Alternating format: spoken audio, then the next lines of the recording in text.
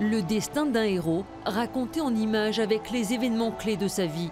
La rencontre de ses parents, la bataille d'Hastings, son couronnement et l'évocation de la tapisserie de Bayeux, avec la fameuse comète de Halley visible en Angleterre à la fin avril 1066, avant l'annonce d'une menace d'invasion par la flotte normande.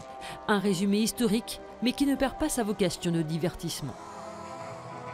Ça permet de voir certains détails de la cathédrale auxquels on ne fait pas attention finalement en passant devant tous les jours euh, ouais, c'est vrai que c'est une belle, belle mise en valeur d'un monument ancien comme ça qui est, qui est assez symbolique de Rouen.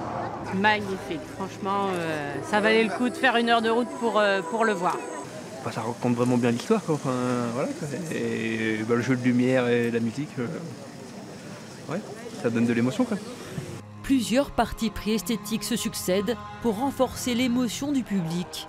Les concepteurs ont fait notamment appel à un peintre qui réalise des peintures rapides comme un dessin animé pour relater la nervosité des batailles. Chaque année, les techniques s'améliorent, ce qui permet de profiter au mieux des détails du gothique flamboyant de la cathédrale. un repérage photographique. Normalement, on travaille avec ça. Cette année, on a utilisé, on a rescanné intégralement la, la façade avec un laser euh, parce qu'on souhaitait être plus précis encore que d'habitude sur tous ces reliefs, d'être vraiment à l'échelle du relief de la cathédrale. Ce qui nous a permis euh, quelques tableaux qui se ressentent très très fort. En tout cas, moi je le ressens et le public le ressent même inconsciemment. Que d'un coup, les choses viennent même à l'intérieur des reliefs.